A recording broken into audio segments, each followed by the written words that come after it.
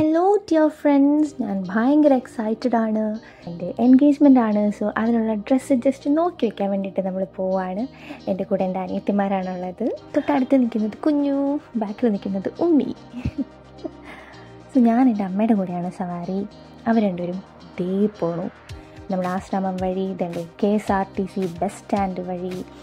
നമ്മൾ ചിന്നക്കട എത്തിയിരിക്കുകയാണ് ഇത് നമ്മളെ സെന്റ് ജോസഫ് സ്കൂളിന്റെ സൈഡിൽ കൂടെയുള്ള റോഡാണ്. അതിലേ കൂടെയാണ് എം കെ ഫാബ്രിക്സിലൊക്കെ പോണത്. അപ്പോൾ കോസ്റ്റ്യൂം വന്നിട്ട് ലഹങ്ക ഇടാനാണ് എന്റെ പ്ലാൻ എന്റെ മാമിയുടെ മോൾ ഫാഷൻ ഡിസൈനറാണ് അപ്പോൾ ചേച്ചി എനിക്ക് ഡ്രസ്സ് തയ്ച്ചു തരാമെന്ന് പറഞ്ഞിട്ടുണ്ട്.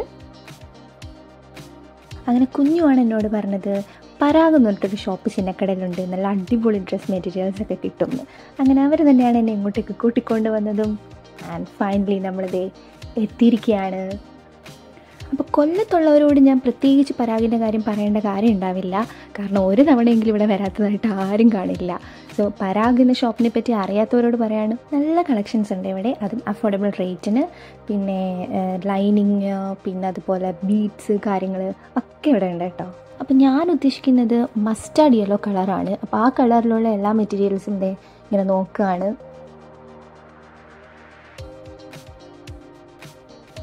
ദേ ഇതെനിക്കാണ് ഇഷ്ടമായി കേട്ടോ എന്തോ മസ്റ്റാർഡ് യെല്ലോ കളറല്ല എങ്കിലും ഒരു ഭംഗിയുണ്ട്.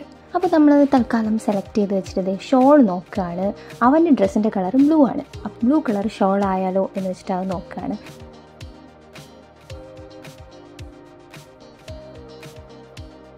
എന്നിട്ട് നമ്മളെടുത്ത ആ യെല്ലോ മെറ്റീരിയലും പിന്നെ ഒരു ബ്ലൂ കളർ അവിടെ ഇരുന്ന മെറ്റീരിയലും കൂടെ വെച്ചിട്ട് ജസ്റ്റ് നോക്കുകയാണ്. മാച്ച് ഉണ്ടാവുമോ ഇല്ലയോ നോക്കുകയാണ്.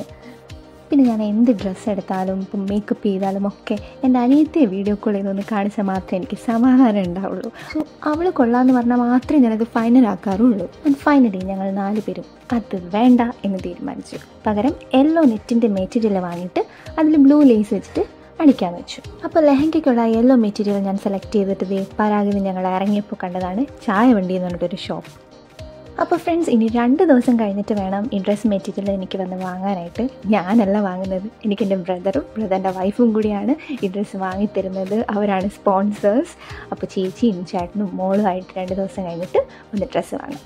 ഓക്കെ ബായ് അപ്പോൾ ഇതേ രണ്ട് ദിവസം കഴിഞ്ഞിട്ട് ഞങ്ങൾ ആ മെറ്റീരിയൽ വാങ്ങാൻ വേണ്ടിയിട്ട് പോവാണ്. ചേട്ടനും ചേച്ചിയും മോളും പിന്നെ എന്റെ ഡാഡിയുമാണ് കൂടെ ഉള്ളത്.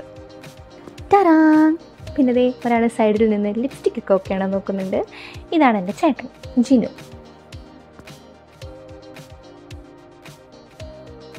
ഇത് ചേച്ചി ലിനി. ഇതാണ് ഞങ്ങളുടെ ജനനിക്കുട്ടി എന്റെ ജാനുട്ടി.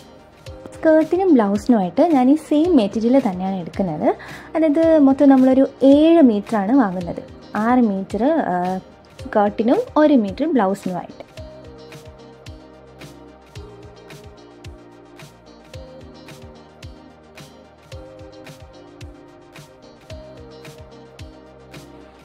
ജാൻസ് എന്തോ എടുക്കുന്നേ? ഇത്. ഇനി ബ്ലൗസിന് വേണ്ടിയിട്ടുള്ള കോട്ടൺ ലൈനിങ് കട്ട് ചെയ്ത് വാങ്ങണം. പിന്നെ ഒരു കാര്യം ചേട്ടൻ മിസ്റ്റർ ഉള്ള റണ്ണറപ്പാട്ടോ മേടിക്കാം.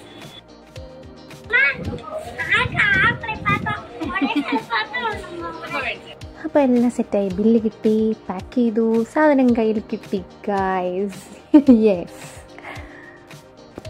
അപ്പോൾ ഇത് തയ്ച്ച് കിട്ടിയാൽ മാത്രം മതി. താങ്ക് യു ഫോർ വാച്ചിങ് തരാ